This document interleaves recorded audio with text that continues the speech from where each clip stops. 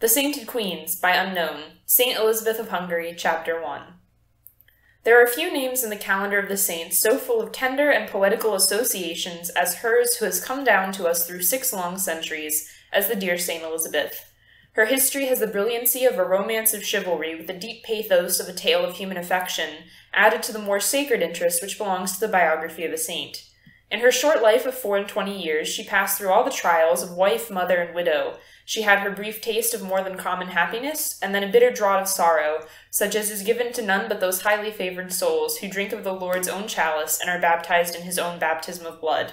Her image stands out before us on the pages of a chivalrous biographer, like one of the beautiful frescoes often discovered under the whitewash of an old Gothic church. A spirit, yet a woman too, with the expression of a bright and playful child on the features of some youthful martyr smiling at the rack. Her tortures of the soul and the spirit.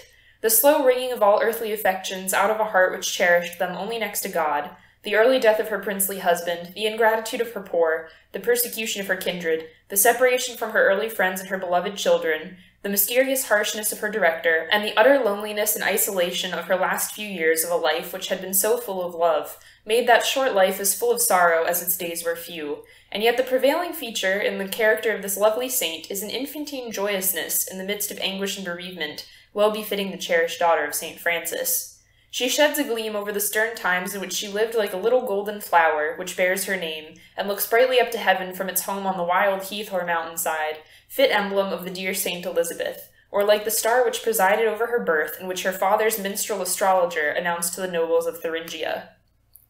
The Maitre Klingsor had come all the way from Hungary to settle a dispute among the noble minstrels of the Landgrave's court. They asked him to tell them something new, and he replied, I will tell you something new and joyful withal. I see a fair star which ariseth in Hungary, and shineth from thence to Marburg, and from Marburg over the whole earth. Know that this very night there is born to my lord the king of Hungary a daughter who shall be called Elizabeth. She shall be given in marriage to the son of the prince of this land. She shall be a saint, and her sanctity shall be a joy and consolation of Christendom. In accordance with this prediction on the day and the hour named by Klingsor at Eisenach, the Queen of Hungary gave birth to a daughter who was baptized by the name of Elizabeth. Andrew II, King of Hungary, the father of Elizabeth, was noted alike for his successful wars against the pagans, his earnest piety, and his generosity towards the church and the poor. Some of the vast gold mines, which at this day form the wealth of Hungary, were discovered in his region, and their produce enabled him to multiply his alms in building churches, endowing convents, and increasing his already abundant liberality to the poor.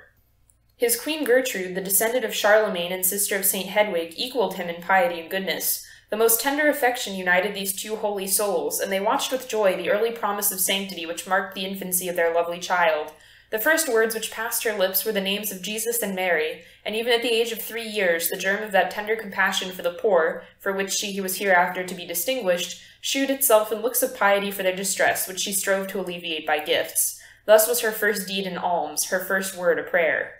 The Hungarians were already rejoicing in this blessed child when a noble embassy arrived from Hermann Landgrave of Hesse and Thuringia and Count Palatine of Saxony to ask her hand in marriage for his son Louis.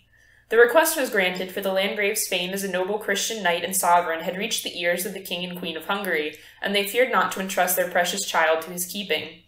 So the little princess, now four years old, was laid in a massive silver cradle, and as the king gave her into the hands of the Lord of Varilla, the Landgrave's ambassador, he said, I entrust my chief earthly comfort to your knightly honor, to which the good knight replied, I receive her right willingly into my keeping, and will ever be faithful to her. He kept his word, as we shall see.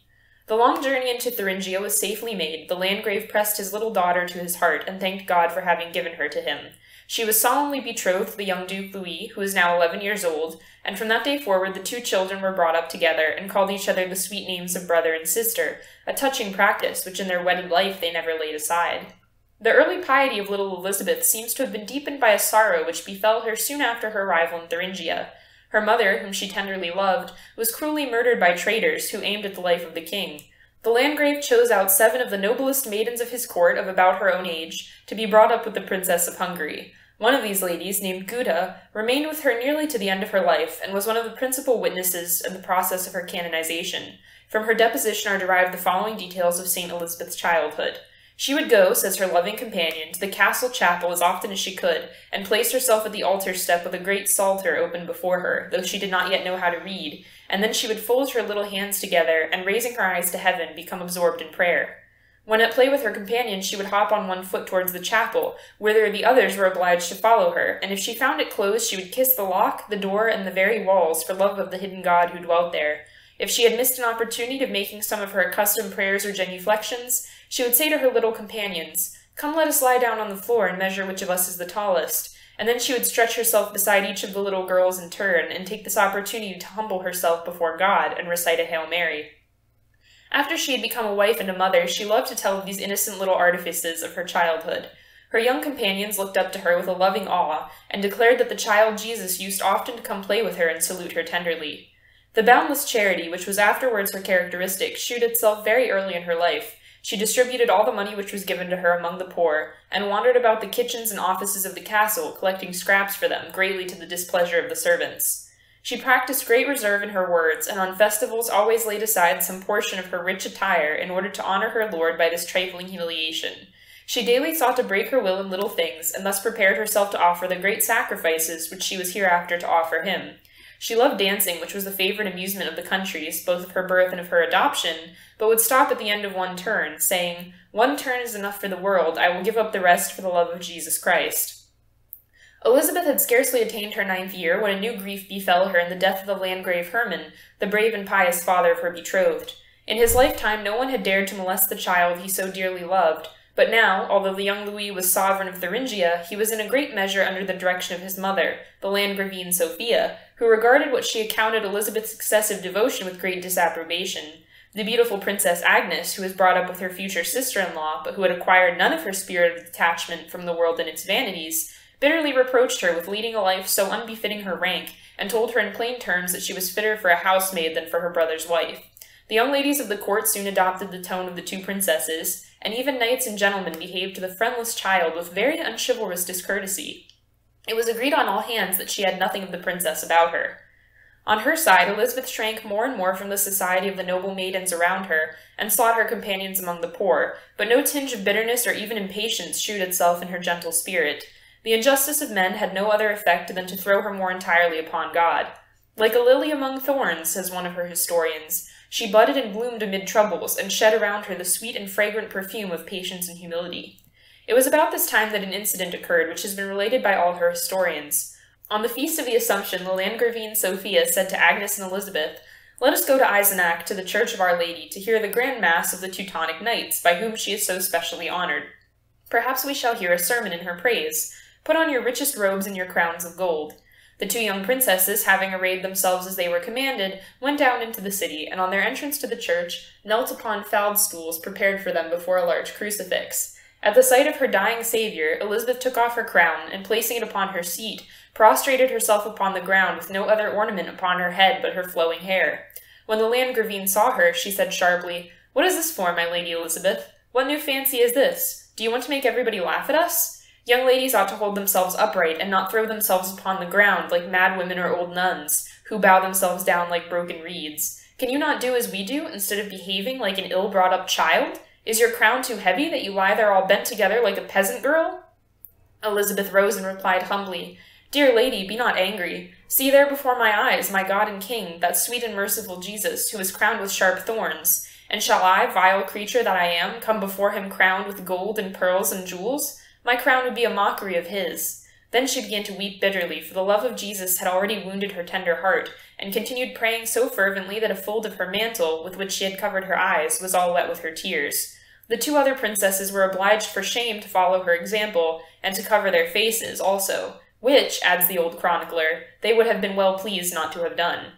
As Elizabeth grew older, the persecution against her became more and more envenomed. The chief vassals and grave councillors of the Landgrave joined in the outcry of the courtiers and ladies, and openly declared that she ought to be sent back to her father, for that a beguine like her was not fit to be the wife of their prince. The Landgravine Sophia did all she could to get her shut up in a convent. Agnes repeated to her continually, My Lady Elizabeth, if you fancy that the Landgrave, my brother, will marry you unless you become something very different from what you are, you are much mistaken. But the prayers and tears of the dear Saint Elizabeth were not poured forth in vain. Though far from her earthly father, her Father in heaven watched over her continually, and contrary to the expectation of her enemies, the young Landgrave never swerved from his faithful affection to his betrothed. He loved her the better for the virtues which drew upon her the contempt and hatred of the court, and took every opportunity permitted by the watchful jealousy of his mother to visit and comfort her. He never left home without bringing her some little present a crucifix, a coral rosary, a holy picture, a jewel, a chain of gold, something in short which she had not had before. She would run joyously to meet him on his return and receive his gifts as precious proof that he had remembered her in his absence. Once, however, when he had been hunting with some foreign nobles who did not leave him till his return, Louis neglected to bring the accustomed present. The omission was triumphantly noticed by the enemies of Elizabeth as a sign of change in the feeling of her betrothed. The lonely and persecuted girl keenly felt the neglect, and complained of it to her old friend and protector, Walter of Varilla, who had brought her from Hungary. He promised to speak of it to his lord. An opportunity of doing so soon occurred, for he was summoned to accompany Louis on a hunting excursion. As they were resting themselves together on the grass, within sight of Inselberg, the highest mountain in Thuringia, Lord Walter said to the young Landgrave, Will you be pleased, my lord, to answer a question I am about to ask you? Assuredly, said the prince. Then, said the knight, what do you propose doing with the Lady Elizabeth whom I brought to you? Will you take her for your wife, or will you break your plighted troth and send her back to her father? Louis sprang to his feet, and stretching forth his hands toward Inselberg, he said, Dost thou see that mountain before us? Were it all of purest gold from its base to its summit, and all were offered to me to send away my Elizabeth, I would never do it. Let them say or think what they will. I say this, that I love her and love nothing better in this world. I will have my Elizabeth. She is dearer to me for her virtue and piety than all the kingdoms and riches of the earth. I beg of you, my lord, said Walter, to permit me to repeat these words to her. Do so, said Louis, and tell her also that I will never give ear to those who counsel me against her, and give her this as a pledge of my faith. So saying, he put into his hands a little double-cased mirror set in silver, wherein was a picture of our crucified Lord. The knight hastened with the mirror to Elizabeth, who smiled with great joy, and thanked him for having thus acted towards her as a father and friend, then opening the mirror, she fervently kissed the picture of our Lord and pressed it to her heart. Louis soon redeemed his word as a knight and prince, and his marriage with Elizabeth was celebrated with great pomp at the castle of Wartburg in 1220. Louis was but twenty, Elizabeth only thirteen. They loved each other, we are told, in God with an inconceivable affection, and therefore did the holy angels dwell continually with them.